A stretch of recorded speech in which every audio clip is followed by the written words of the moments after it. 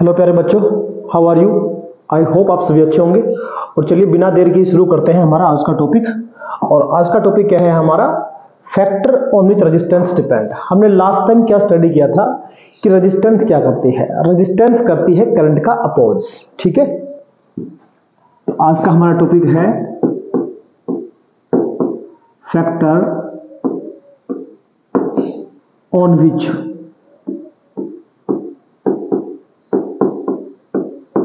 resistance depends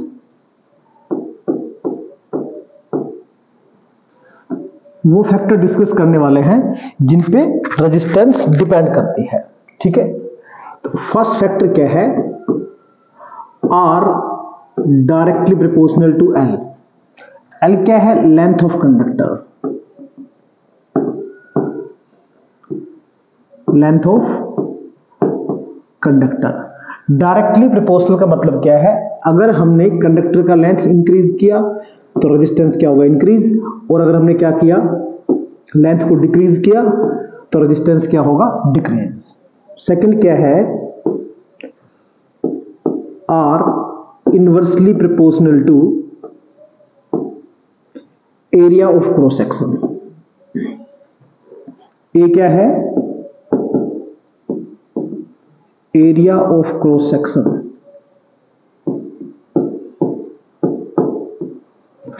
of wire of conductor लिख सकते हो आप या फिर वायर लिख सकते हो? ये हमारे पास एक कंडक्टर है, जिसका लेंथ ये एल है और ये वाला जो एरिया है, ये, इसको हम क्या बोलते हैं? क्रॉस सेक्शन एरिया मींस ये वाला. ये क्या है? Area of cross section A जो इक्वल किसके है? पाई आर स्केयर हमने इस वायर का, इस मेटल का कंडक्टर का रेडियस कितना कंसिडर किया है? आर तो इसका एरिया कितना हो जाएगा? पाई आर स्केयर थर्ड क्या है? Nature of material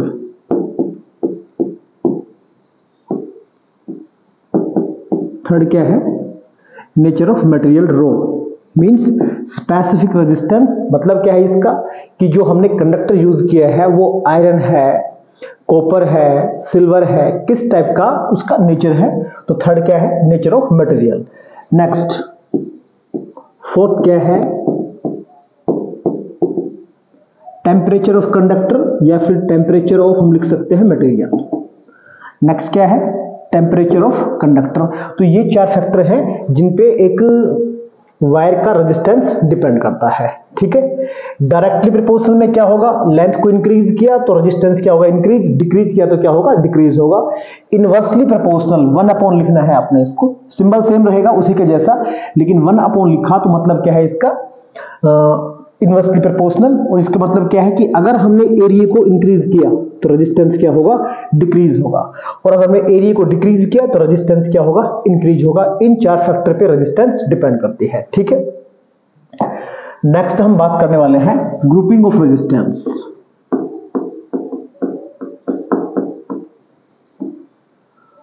grouping of resistance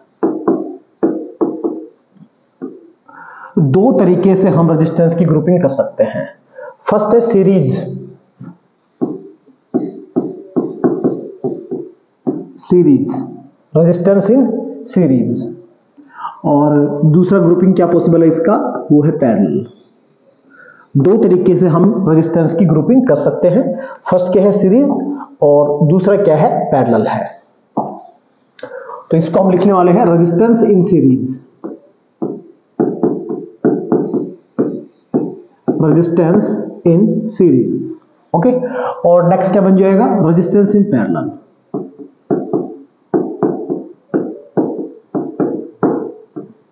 series क्या है? One after one resistance arrange कर दिए जाए इन दिस वे ओके एक के बाद एक. ये फ़र्स्ट है इसी के पीछे कौन हो गया? सेकंड फिर कौन हो गया? Third fourth in this way one after one अगर रेजिस्टेंस को हम अरेंज कर देते हैं तो क्या बोलते हैं उसको? सीरीज़ बोलते हैं। और पैरेलल में क्या होगा? जैसे ये फ़र्स्ट रजिस्टर है, ये वाला क्या है? सेकंड रजिस्टर है, और ये थर्ड रजिस्टर है। इन सभी का एक एंड एक पॉइंट पे आ जाए। मान लीजिए पॉइंट ए पे आ गया। उस सभी का दूसरा एंड कहाँ चला जाए? ये दूसरे पॉइंट पे चला जाए। मान ली बी पे। ठीक है? तो क्या बन जाता है वो पैरेलल या हम ये बोल सकते हैं कि सभी का एक एंड कहाँ आ गया है? Positive terminal of cell of battery और दूसरा कहाँ आ गया है सभी का? वो नेगेटिव पे आ गया है। तो इसको हम क्या बोलेंगे? पैरेलल बोलेंगे इसको हम। सीरीज़ वाले केस में कैसे कनेक्ट है one after one in this way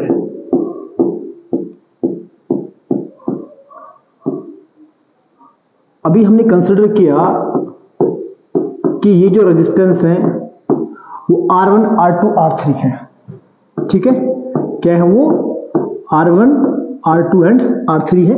एक बार इनको हमने कहा लगाया है सीरीज़ में और फिर हमने कहा लगाया उनको पैरेलल में लगाया। तो पहले हम सीरीज़ को डिस्कस कर लेते हैं, ठीक है?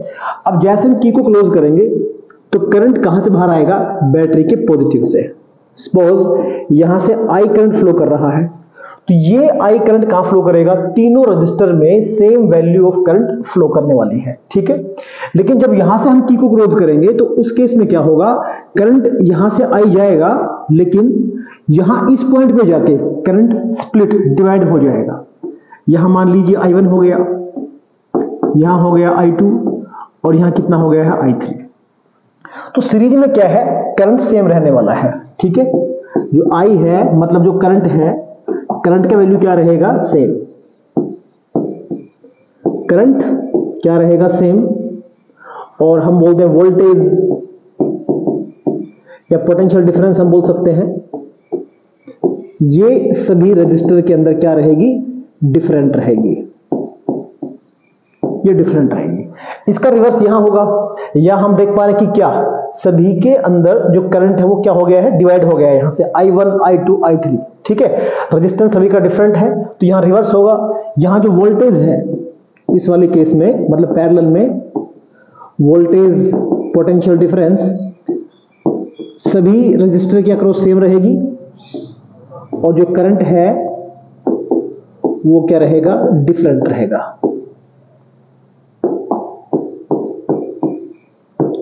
तो डेफिनेशन हम यहाँ से बना सकते हैं कि अगर जो फ्लो ऑफ़ करंट है वो सेम रहे और पोटेंशियल डिफरेंस क्या रहे?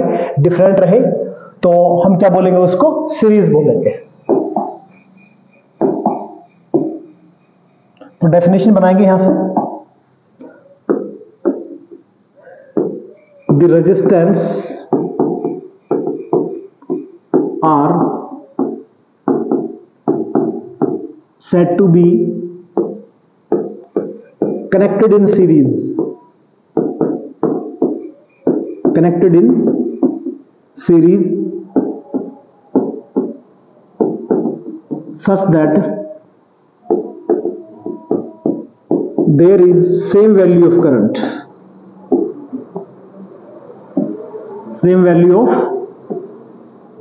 current and voltage या हम लिख दे potential difference across each resistor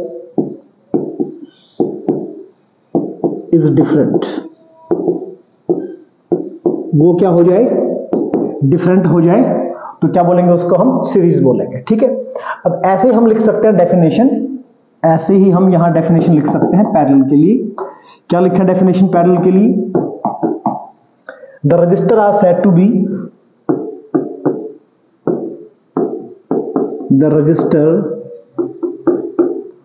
are said to be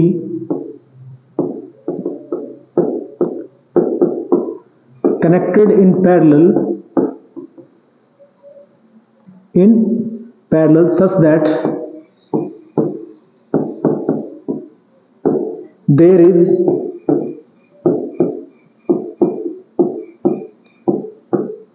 same value of voltage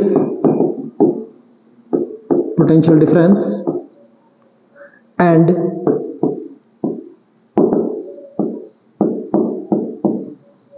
different value of flow of current. Different value of flow of current across each resistor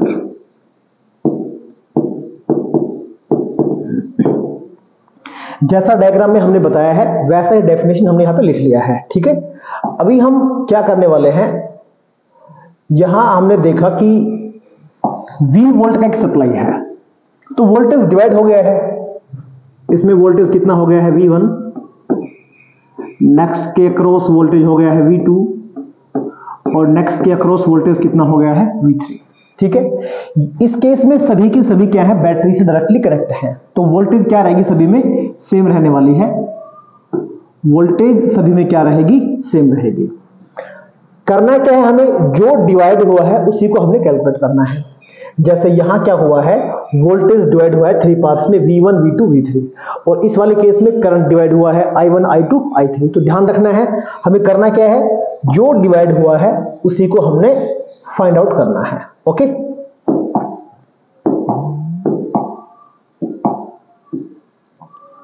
तो चलिए series को एक बार फिर से देख लेते हैं हम। अभी वोल्टेज डिवाइड हुआ था V किस किसमें डिवाइड हुआ था? V1 plus we two plus क्या हुआ था? वी थ्री अभी हमने V1 V2 V3 कैलकुलेट कर लेना है अकॉर्डिंग टू ओम्स लॉ क्या है Ohm's law V is equal to I R तीन रजिस्टर लगा रखे हैं तो तीन बार आपने लिख लेना है। चार लगाए हैं तो चार बार लिखना है। तो वोल्टेज पहले में कितना है? V1 दूसरे में V2 है, तीसरे में कितना है? V3 है। रजिस्टेंस के वैल्यूज़ क्या है? R1 R2 एंड R3 है। आई सभी में सेम है, क्योंकि सीरीज़ में लगा रखे हैं ना तो सभी में करंट क्या जाएगा? सेम जाएगा। तो वैल्यूज़ यहाँ अप्लाई कर देते हैं। तो V इक्वल किसके हो गया? I R one plus I R two plus I R three और यहाँ से हमने आई क्या ले लिया है? कॉमन तो अंदर जो वैल्यू बच गए हैं, वो बच गए हैं R one plus R two plus R three अभी हम क्या करने वाले हैं? मान लीजिए, ये जो तीन रेजिस्टेंस हमने लगाए थे, इन तीनों को हटा के हमने एक सिंगल रेजिस्टेंस लगा दिया है। मतलब जो काम वो तीन रेजिस्टेंस कर रहे थे, वही काम ये अकेला करेगा। और इसका रेजिस्टेंस हमने कंसिडर कर लिया है R S S for series जब की को क्लोज करेंगे तो करंट उतना ही जा रहा है। ठीक है? तो V कितना होगा? V is equal to I R लेकिन रेजिस्टेंस कितना है? आर एस है। बाकी वैल्यू सेम हो गया है।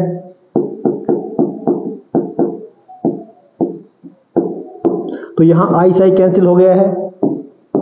तो रेजिस्टेंस इन सीरीज़ टोटल कितना आ गया है? R one plus R two plus R three अगर एक रेजिस्टेंस और होता तो आर फोर एक और होता तो प्लस में आर फाइव चलिए ऐसे हम कैलकुलेट करते हैं किसको? पैरल वाले केस को। तो पैरल वाले केस में क्या देखा था कि डिवाइड कौन हुआ है? यहाँ डिवाइड हुआ है करंट, है ना? करंट डिवाइड हुआ है I1 I2 I3 में, ठीक है? I1 I2 I3 तो यहाँ से हम क्या करेंगे? I को कैलकुलेट करेंगे। जो डिवाइड हुआ है, उसी को हमने फाइंड कर लेना है। तो I कितना हुआ है? I थ्री पार्ट्स में डिवाइड हुआ है। I one plus I two plus I three, ठीक है? According to Ohm's law I का वैल्यू क्या बनेगा? ये वैल्यू बनेगा वी बाई आर इसको भी थ्री टाइम्स लिखना है। जैसे पहले लिखा था V by R one second क्या लिखना है? V बाई आर लिखना है आपने। पहले वाले में कितना करंट है? I1 रेजिस्टेंस कितना है? R1 दूसरे वाले में करंट कितना है? I2 रेजिस्टेंस कितना है? R2 तीसरे वाले में करंट कितना है? I3 रेजिस्टेंस कितना है? R3 ये वैल्यू यहाँ अप्लाई कर देते हैं हम। तो हमारे पास आई कितना आएगा? V by R one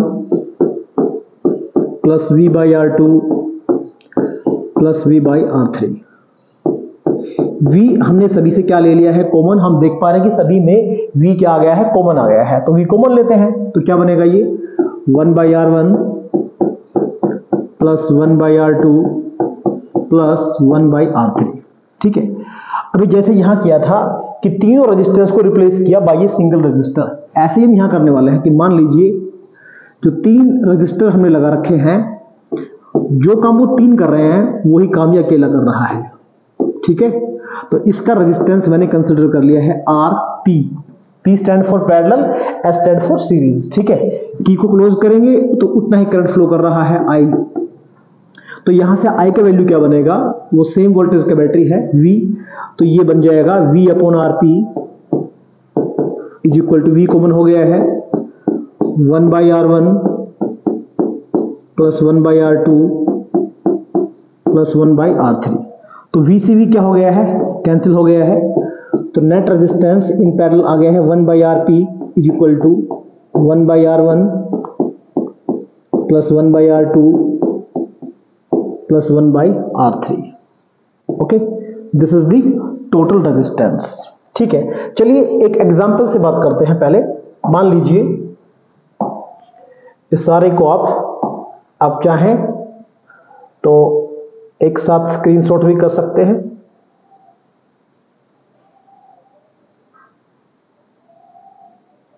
in this way पहले आप डायग्राम देख सकते हैं। ओके और आप चाहे तो इसको स्क्रीनशॉट कर सकते हैं। और इसके बाद once again you can screenshot it और ये हमारे पास लास्ट आ गया है, ठीक है? चलिए अब डिस्कस करते हैं कि मान लीजिए, अगर हम थ्री रजिस्टर लगा दें, अगर हम क्या करें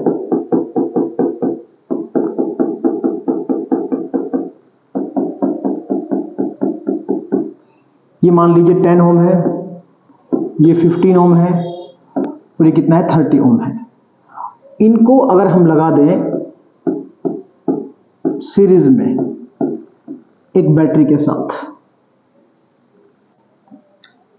तो नेट रेजिस्टेंस कितना होगा और कितना फ्लो ऑफ़ करंट आएगा, ये हमने यहाँ से कैलकुलेट करना है, ठीक है? और मान लीजिए जो बैटरी है, जो सेल है, वो कितने का है? वो 110 वोल्ट का है। और सेम अरेंजमेंट हम कर दें पैरेलल वाले केस में।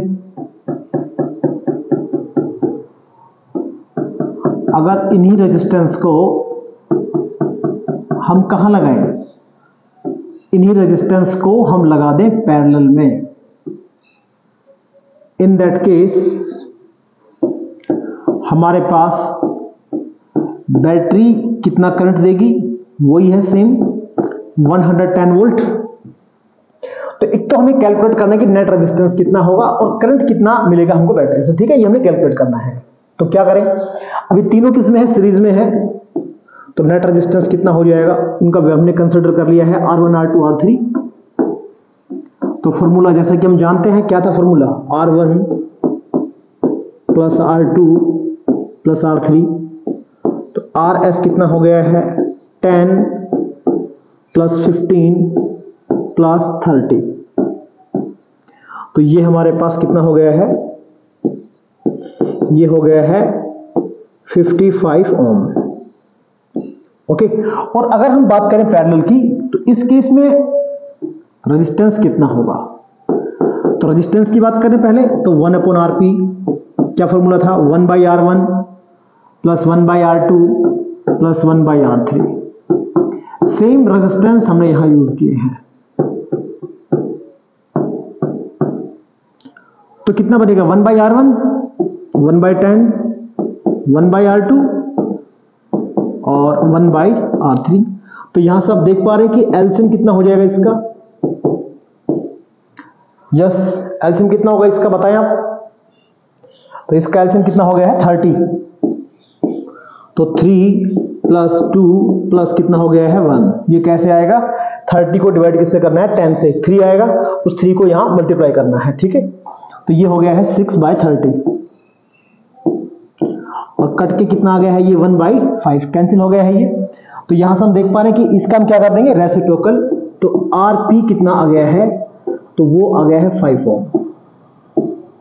जो सेम रेजिस्टेंस को हमने लगाया तो हम देख पा रहे हैं सीरीज़ में नेट रेजिस्टेंस जो हाईएस्ट था, उससे भी हाई हो गया है। इन तीनों में से हाईएस्ट कौन है? थर्टी और नेट रेजिस्टेंस क्या आया है? थर्टी से ज़्यादा आया है, ठीक है? तो रेजिस्टेंस इंक्रीज होगा। अगर हम क्या करेंगे? रजिस्टर्स को अरेंज करेंगे पैरेलल में। सॉरी सीरीज़ में इनको अरेंज करेंगे। और अगर हम क्या करते हैं? लगाते हैं पैरेलल में तो जो लोवेस्ट है, उससे भी लो आएगा। ठीक है? पैरेलल में हम यहाँ देख पा रहे हैं लोवेस्ट कितना है? टेन है। लेकिन इन तीनों का जो नेट आया, वो कितना आया है? फाइव आया है। मींस अगर हमें रेजिस्टेंस को डिक्रीज करना है तो हम रेजिस्टेंसेस को अरेंज किसमें करेंगे? पैरेलल में अरेंज करेंगे। ठीक है? अभी करंट कितना होगा? तो करंट की बात इसमें और कर लेते हैं हम। कि दोनों केसेस में करंट कितना हमको मिलने वाला है। तो आई किसके इक्वल है?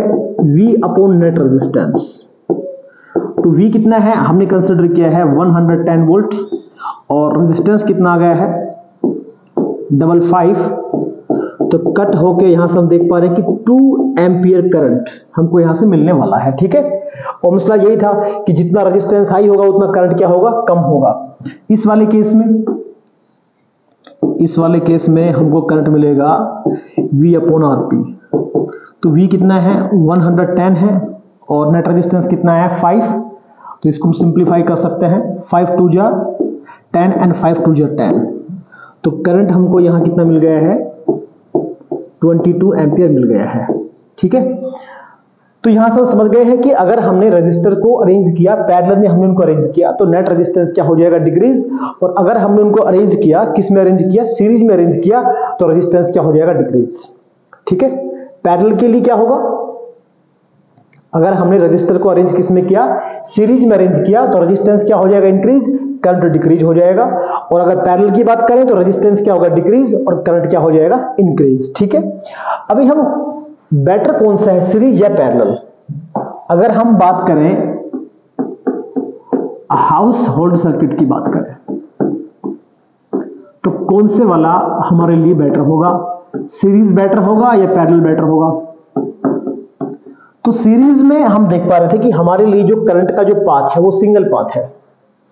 अगर कोई भी एक कंपोनेंट बर्न हो जाता है तो बाकी कंपोनेंट्स भी काम नहीं कर पाएँगे। सभी को सेम करंट मिलेगा, चाहे किसी की रिक्वायरमेंट कम हो, चाहे किसी की ज़्यादा हो, ठीक है? और वोल्टेज डिवाइड हो जाएगा। लेकिन पैरेलल वाले केस में क्या है? सभी को जो करंट है, वो एज पर रिक्वायरमेंट मिलेगा, क्योंकि सभी में करंट क्या हो रहा था? डिवाइड हो रहा था, ठीक है? और वोल्टेज सब में क्या मिलेगा? सेम मिलेगा। और किसी को भी हम एज पर रिक्वायरमेंट ऑपरेट कर सकते हैं, जिसको चाहे हम उसका सर्किट क्लोज कर सकते हैं, जिसका चाहे उसका सर्किट हम ओपन कर सकते हैं। तो हमारे लिए जो बेटर होगा, वो बेटर कौन सा होगा हमारे लिए? पैरल कॉम्बिनेशन ऑफ़ रजिस्टर, वो हमारे लिए क्या होगा? बेटर होगा, ठीक है? क्योंकि जितने भी हमारे इलेक्ट्रिक अप्लायंसेज हैं, सभी इंडिपेंडेंट होंगे। जिसको चाहे उसको हम ऑपरेट करें, जिसको चाहे हम उसको स्विच ऑफ़ कर सकते हैं, ठीक है? लेकिन सीरीज़ वाले केस में क्या होगा? सभी के सभी एक साथ चलेंगे, या सभी के सभी अप्लायंसेज क्या हो जाएँगे? बंद हो जाएँगे। तो बेटर कौन सा होगा? पैरेलल जो अरेंजमेंट है रेजिस्टेंसेज का, वो हमारे लिए क्या होगा? बेटर होगा। अभी हम बात करते हैं हीटिंग इफ़ेक्ट ऑफ़ करंट अभी हम बात करते हैं Joule heating effect of current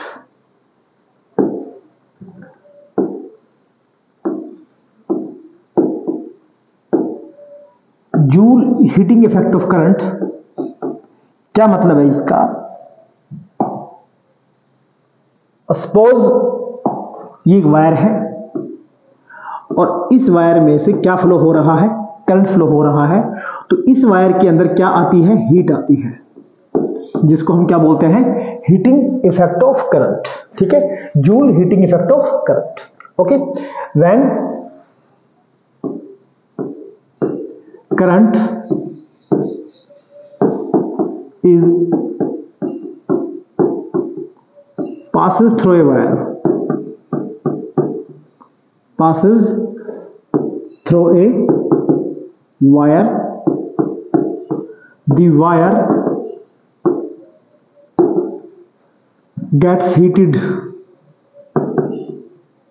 क्या हो जाती है वो हीट हो जाती है gets heated and this is called heating effect of current heating effect of current कहाँ यूज़ करते हैं हम? जैसे electric bulb electric bulb bulb क्या हो जाता है? हीट हो जाता है. ओके इलेक्ट्रिक हीटर हीटर देखा होगा आपने? ठीक है? कि कैसे जो फिलामेंट है उसका, वो क्या हो जाता है? रेड हॉट हो जाता है। इलेक्ट्रिक आयरन प्रेस क्या होगा आपने? इलेक्ट्रिक आयरन गीजर, ये हमने देखे होंगे। ये सब किससे काम कर रहे होते हैं? हीटिंग इफ़ेक्ट ऑफ़ करंट से काम कर रहे होते हैं। मतलब क्या है इसका जो वायर में से क्या पास होगा? करंट पास होगा तो वायर क्या हो जाएगा?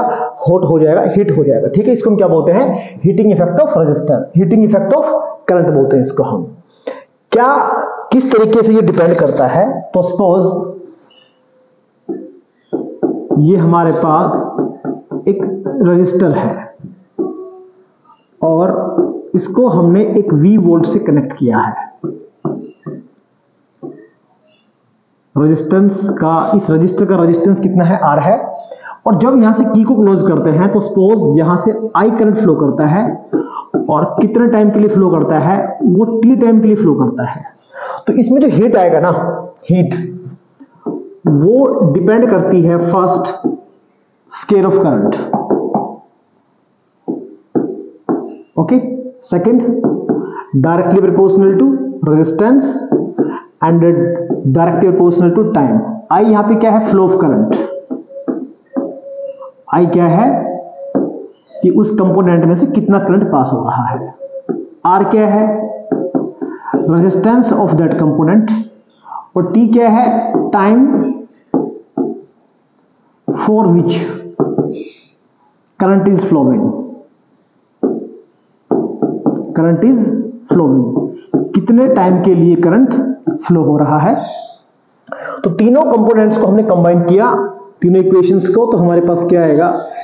H directly proportional to I square R T और यहाँ कांस्टेंट का वैल्यू हो गया वन तो एच हम लिखेंगे आई स्केर आर टी इतना हीट एक कंडक्टर में आने वाला है, ठीक है?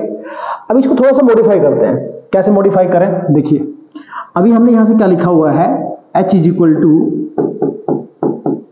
I square R T इसको हमने क्या कर लेना है? इसको आर से मल्टीप्लाई कर लेना है और आर से हमने डिवाइड कर लेना है। एंड हम जानते हैं कि v इज़ इक्वल टू क्या है? आई आर ओमसला ही। तो आई स्केयर आर स्केयर क्या बनेगा? वी स्केयर तो यहाँ पे हम क्या पुट कर सकते हैं? यहाँ पुट कर सकते हैं हम V square by R into T ये एक और फॉर्मूला आ गया है किसके लिए? हीट के लिए। ठीक है? एक और फॉर्मूला अभी हम यहाँ डिस्कस करने वाले हैं। क्या है वो? H किसके इक्वल था? आई स्केयर आर टी तो इसको लिख लेंगे ऐसे I square I into in this way I का स्केयर था तो आई इंटू आई कर देंगे. आर टी एच इज़ है. अब फिर से यहाँ पे क्या कर देंगे हम? आई आर को रिप्लेस किससे कर देंगे? वी से. तो हीट कितना आ गया है? वी आई टी आ गया है. बेसिकली हम इन दो फॉर्मूलों को यूज़ करेंगे. जब भी हमें हीट फाइंड करना होगा सीरीज़ वाले केस में तो इस फॉर्मूले को यूज़ करेंगे क्योंकि सीरीज़ में करंट क्या रहेगा? सेम रहेगा. और जब भी हमें हीट फाइंड करना होगा पैरेलल वाले केस में तो हम ये वाला फॉर्मूला यूज़ करेंगे, क्योंकि वहाँ V क्या रहेगी? कांस्टेंट रहेगी। ठीक है? आगे चलते हैं इसी में। इसी में टर्म आती है एनर्जी एनर्जी क्या होती है? अभी आपने सुबह, दोपहर, शाम आपने खाना खाया होगा तो खाना क्यों खाते हैं हम? क्योंकि हम क्या ले रहे होते हैं? एनर्जी ले रहे होते हैं। एनर्जी क्यों लेते हैं? क्योंकि हमने दिन में कोई या कभी ना कभी हमें क्या करना होता है? कोई ना कोई टास्क करना होता है, हमें कोई ना कोई वर्क करना होता है। इसलिए हम क्या लोग इसलिए हम क्या ले रहे होते हैं? एनर्जी ठीक है, क्या करने के लिए? वर्क करने के लिए। वट इज़ एनर्जी एनर्जी क्या होती है? The capacity of doing work the capacity of doing work this is called energy इसको हम क्या बोलते हैं? एनर्जी बोलते हैं. The capacity of doing work called energy okay और इसका जो ऐसा यूनिट है, वो है joule this is the S I unit और अगर बात करें सी जी एस ऑलरेडी यहाँ पे ऐसा लिख दिया है। और इसका जो सी डी स्टूडेंट है वो है अर्ग एंड वन जूल इक्वल किसके होता है? Ten raised power seven erg energy कितना आएगा? जितना हीट आया था, कैसे कैलकुलेट करें इसको? उसी तरीके से हम कैलकुलेट कर सकते हैं कि ये रजिस्टर है। इसका रजिस्टेंस कितना है? आर इसको कनेक्ट किया हमने वी वोल्ट के साथ। और एक की हमने लगाया। जैसे हमने की क्लोज किया तो सपोज़ यहाँ से कितना करंट फ्लो कर रहा है? आई करंट फ्लो कर रहा है। तो कितना वर्क डन हुआ? तो वर्क डन का फॉर्मूला हम लिखते हैं V इंटू क्यू ठीक है? तो वर्क क्या होगा? According to Ohm's law V कितना हो गया है? आई आर एंड हमने पढ़ा था ओम्स लॉ क्या है ये? V is equal to I R and current क्या था? Current I is equal to Q by T तो क्यू कितना हो गया है? आई टी ओके पहले ये स्टेप लिख लेंगे हम। तो ये हो गया है आई आर और यहाँ से क्यू कितना हो गया है? आई टी तो आई इंटू टी तो वर्क हमारे पास कितना आ गया है?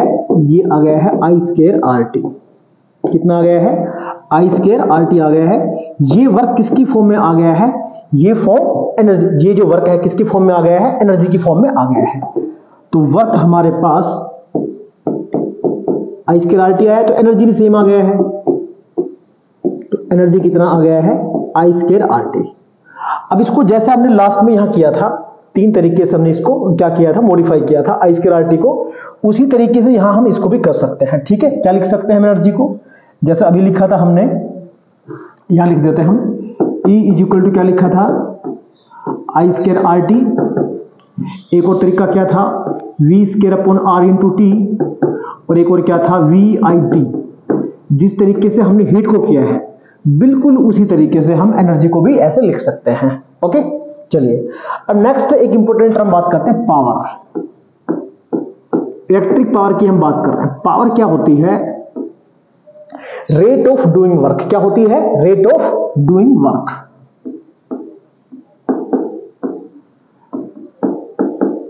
rate of doing work या हम बोल सकते हैं एनर्जी या फिर हीट बोल सकते हैं।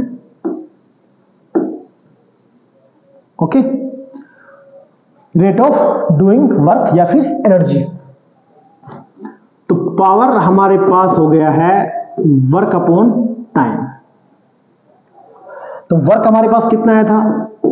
वर्क हमारे पास आया था I square R T divided by T किया तो टी से टी क्या हो गया है? कैंसिल तो पावर हमारे पास कितना आ गया है? आई स्केर आर आ गया है। फिर से हम क्या कर सकते हैं? और P is equal to I square R चल रहा है। तो इसको फिर से जैसे पहले किया था आर से मल्टीप्लाई करेंगे आर से डिवाइड आर से मल्टीप्लाई किया आर से हमने क्या किया? डिवाइड किया एंड हम जानते हैं कि V इक्वल टू क्या है? आई आर ओम्स ला है। तो हम इसको क्या लिख सकते हैं? इसको हम लिख सकते हैं V square upon R V equal to I R है तो आई स्केयर आर स्केयर क्या बन जाएगा? ये बन जाएगा वी स्केयर ठीक है? तो बी कितना बनेगा? वी स्केयर बाई आर और एक और तरीका है इसको लिखने का, क्या है वो? P इज़ इक्वल टू क्या है? आई स्केयर आर है। तो इसको आई आर इंटू हम आई लिख सकते हैं। तो आई आर को क्या लिखेंगे? V तो P क्या बन गया है? P is equal to V I तो तीन फॉर्मूले हमारे पास यहाँ भी पावर के लिए आ गए हैं। लेकिन फिर से हम इनको यूज़ कैसे करेंगे? वैसे तीनों यूजफुल है, लेकिन इन दो को हम ज़्यादा यूज़ करते हैं। सीरीज़ में हमें पावर कैलकुलेट करना है पावर का रेशियो कैलकुलेट करना है तो ये वाला फॉर्मूला यूज़ करेंगे, क्योंकि करंट सीरीज़ में क्या रहेगा? सेम रहेगा। पैरेलल में अगर हमें पावर का रेशियो कैलकुलेट करना है तो ये वाला फॉर्मूला यूज़ करेंगे, क्योंकि जो पैरेलल है, उसमें वोल्टेज क्या रहेगी? सेम रहेगी। ठीक है? अभी यूनिट की बात और करते हैं। Unit of power unit of power तो पावर इक्वल किसके है? ये है वर्क अपॉन टाइम तो वर्क के लिए जो यूनिट है वो हो गया है जूल और टाइम के लिए क्या हो गया है? सेकंड तो पावर के लिए क्या हो गया है? वाट क्या हो गया है? वाट ओके और अगर मैं डिफाइन करना हो वन वाट को तो one watt is equal to one joule upon one second ठीक है? अब इसी में बात करते हैं कि one kilowatt kilo means kilo means thousand one thousand तो ten dust power three watt इसमें टर्म आएगा one megawatt mega means million means ten lakh ten dust power six watt और एक इंपॉर्टेंट टर्म आता है one H P horse power okay क्या आता है? हॉर्स पावर तो one H P is equal to seven forty six watt okay एक और इंपॉर्टेंट यहाँ से क्वेश्चन आता है define one kilowatt hour and one kilowatt एक तो हमें ध्यान रखना है कि जो ये वाली है, ये किसकी यूनिट है? ये पावर का यूनिट है, ठीक है? और ये जो किलोवाट आर है, ये किसका यूनिट है? ये एनर्जी का यूनिट है। ये कमर्शियल यूनिट है, जो हमारे घर का बिजली का बिल आता है, वो किसमें आता होगा? यूनिट में आता होगा कि आपने कितना यूनिट कंज्यूम किया है? 2000 किया है या 200 किया है या 300 किया है, ठीक है? वो यूनिट क्या होती है? वन किलोवाट आर होता है, ठीक है? चलिए देखते हैं क्या है। तो इसको तो हम जानते हैं कि वन किलोवाट इक्वल किसके है ये? वन थाउज़ेंड वाट है। और ये किसका यूनिट है? पावर का यूनिट है। अभी वन किलो वाट आर क्या है? वन किलो वाट आर एक इलेक्ट्रिक अप्लायंस है, जिसका पावर कितना है? वन किलो वाट और वो ऑपरेट हो रहा है कितने टाइम के लिए? वन आर के लिए ऑपरेट हो रहा है, ठीक है? तो जो एनर्जी का कंजप्शन है, उसको हम क्या बोलते हैं? वन किलो वाट आर बोलते हैं। फिर से बता रहे हैं क्या? एक हमारे पास इलेक्ट्रिक अप्लायंस है, जिसका पावर कितना है? वन किलो है। ठीक है? और ऑपरेट कितने टाइम के लिए हो रहा है वो? वन आर के लिए ऑपरेट हो रहा है। तो एनर्जी का जो कंजप्शन है कितना होगा? वन किलो वाट आर होगा। ठीक है? चलिए इसको कन्वर्ट करते हैं। तो वन किलो वाट में कितने वाट हो गए हैं? वन थाउज़ेंड वाट और आर में सेकंड कितने हो गए हैं? वन आर में कितने सेकंड हो गए हैं? छत्तीस सौ second three six double zero second हो गए हैं। Then one kilo watt hour कितना होगा? थर्टी सिक्स टेन दस्ट पावर कितना हो जाएगा? One two three and two zero this तो फाइव और यहाँ से हमने देखा था क्रॉस मल्टीप्लाई कर सकते हैं। वाट इंटू सेकेंड क्या बनेगा? जूल तो यहाँ पे क्या लग गया है? जूल लग गया है। ठीक है? तो आप ये लिख सकते हैं। और और भी ज़्यादा बेटर होगा कि अगर हम इसको स्टैंडर्ड फॉर्म में लिख लें तो वन किलो वाट आर कितना होगा? इसको टेन से मल्टीप्लाई टेन से डिवाइड कर लेना है, ठीक है? तो क्या करेंगे हम? जो टेन से मल्टीप्लाई किया है, वो तो बन गया टेन रेस्ट पावर सिक्स और जो टेन से डिवाइड किया है, वो कितना हो जाएगा? थ्री पॉइंट सिक्स ये स्टैंडर्ड फॉर्म में है, ठीक है? ये वाला, ठीक है? तो आप दोनों में डिफरेंस देख पा रहे हैं कि जो वन किलो वाट है, वो किसके इक्वल है? वन थाउज़ेंड वाट के इक्वल है। वो किसका यूनिट है? वो पावर का यूनिट है। और ये जो यूनिट है, वो किसका है? वो एनर्जी का यूनिट है। This is the commercial this is what commercial unit of energy commercial unit of energy I hope आपको वीडियो पसंद आया होगा। तो वीडियो को लाइक करें, चैनल को सब्सक्राइब करें। Thanks for watching